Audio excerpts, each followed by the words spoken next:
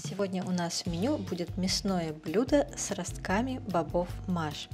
Но начнем мы с того, что подготовим соус. Берем какую-нибудь емкость, удобную для перемешивания, и добавляем либо устричный соус, либо соевый соус 3 столовые ложки. Я не люблю устричный соус, поэтому использую соевый.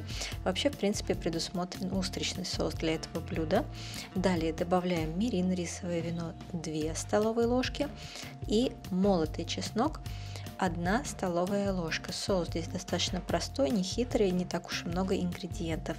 Далее добавляем сироп или сахар по вашему выбору, 1 столовую ложку.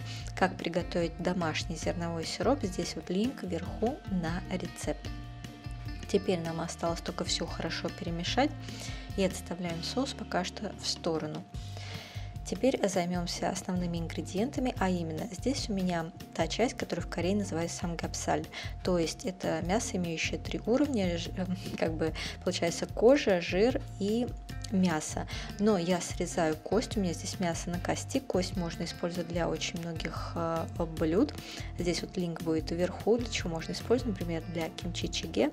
И кожу в данном случае я тоже срезаю, но если хотите, можете и кожу оставить и готовить вместе с кожей.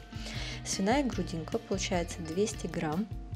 Мы с вами должны нарезать свиную грудинку тонко и кусками среднего размера. А блюдо готовится достаточно быстро и на сильном огне.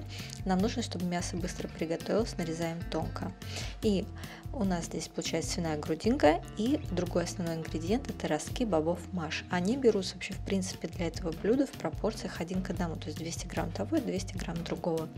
Мы промываем ростки и помещаем их так, чтобы с них стекла а, вся вода, чтобы они обсохли.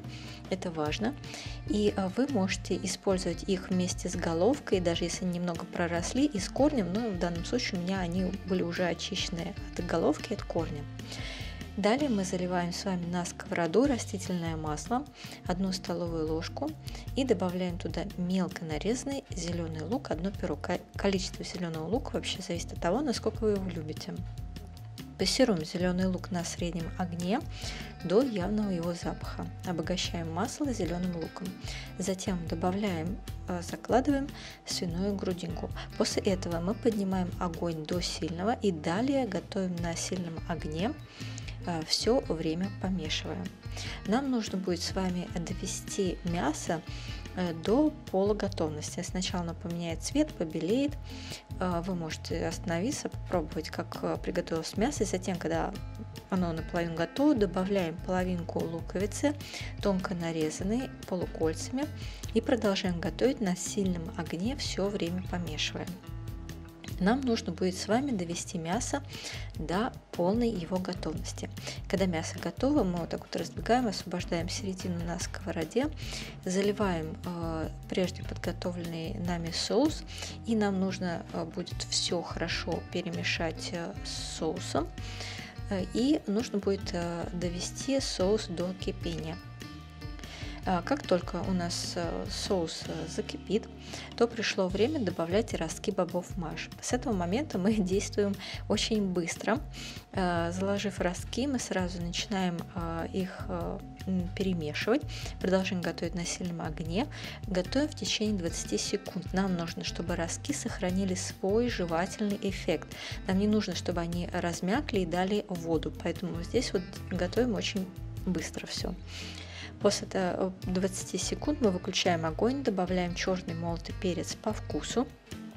И нам остается только все хорошо перемешать.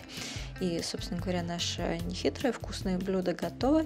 И мы подаем его к столу. А, блюдо подразумевает то, что его едят а, с рисом и с остальными закусками, то есть это как бы основное такое блюдо. А как я сказала, устричный соус подразумевается самой рецептурой, но если вы заменяете на соевый соус, то а, тоже получается достаточно вкусно. Устричный соус, он дает такую крахмалистую а, консистенцию и такой более насыщенный цвет и более насыщенный вкус. Советую вам попробовать. Ростки прям такие остаются хрустящие. Мясо уже достаточно уже прожаренное. Надеюсь, вам понравится. Здесь еще раз приведен способ приготовления и ингредиенты. Лайкайте, подписывайтесь, оставляйте ваши комментарии и приятного вам аппетита!